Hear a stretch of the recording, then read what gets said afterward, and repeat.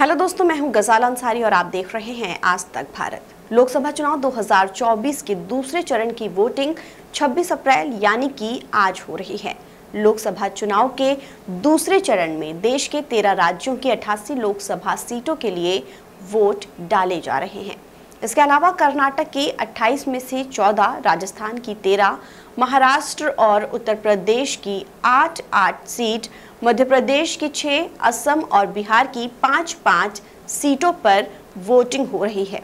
इसके अलावा छत्तीसगढ़ और पश्चिम बंगाल की तीन तीन सीट के साथ त्रिपुरा और जम्मू कश्मीर में एक एक सीट पर मतदान कराया जा रहा है। मतदान प्रक्रिया सुबह सात बजे से शुरू हो चुकी है। मतदाता शाम छह बजे तक अपने मताधिकार का इस्तेमाल कर सकेंगे।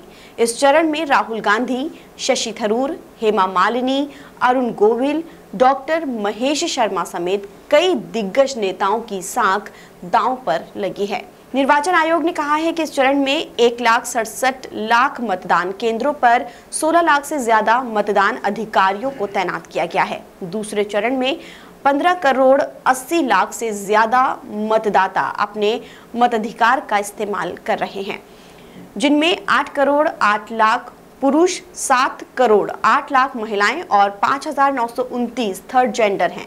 आयोग के मुताबिक चौंतीस लाख छह हज़ार पहली बार अपने मत का इस्तेमाल करेंगे और 20 से 29 साल के तीन करोड़ 28 लाख मतदाता हैं। वैसे तो दूसरे चरण में नवासी सीट पर मतदान होना था, लेकिन मध्य प्रदेश की बैतुल सीट पर बहुजन समाज पार्टी के एक प्रत्याशी के निधन के बाद अब तीसरे चरण में मतदान होगा। इसे सात मई तक के लिए टाल दिया गया है। लोकसभा चुनाव के दूसरे चरण में दिलचस्प मुकाबला है, क्योंकि इस चरण में कई प्रमुख हस्तियाँ चुनावी मैदान में ताल ठोक रहे हैं।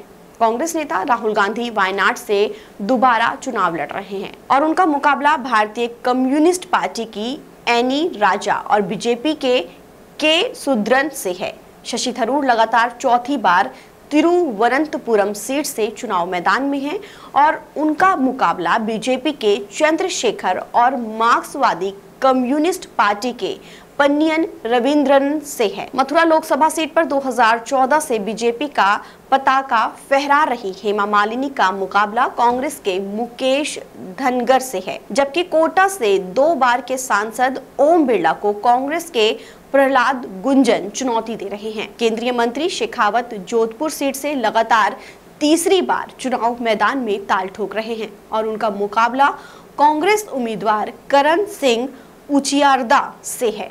बेंगलुरु दक्षिण से मौजूदा सांसद और बीजेपी युवा मोर्चा के राष्ट्रीय अध्यक्ष तेजस्वी सूर्या का मुकाबला कांग्रेस की सौभ्या रेड्डी से होगा। छत्तीसगढ़ के पूर्व मुख्यमंत्री और कांग्रेस नेता भूपेश बघेल 30 साल से ज़्यादा समय से बीजेपी का गढ़ रहे राजनांदगांव से चुनाव लड़ रहे हैं। टीवी सीरियल रामायण में भगवान राम का किरदार निभाने वाले अरुण गोविल का मेरठ लोकसभा सीट पर मुकाबला बहुजन समाज पार्टी के देवव्रत कुमार त्यागी और समाजवादी पार्टी की सुनीता वर्मा से है। आपको बता दें कि इस बार लोकसभा चुनाव सात चरणों में हो रहा है। आखिरी और सातवें चरण के लिए एक जून को मतदान होगा, जबकि चार जून को वोटों की गिनती की जाएगी और इस दिन दिग्गजों की किस्मत का फैसला होगा। फ़िलहाल इस खबर में इतना ही। हमारे चैनल को ज़्यादा से ज़्यादा शेयर करें सब्सक्राइब करें और नोटिफिकेशन के लिए बेलाइकन को दबाना ना भूलें।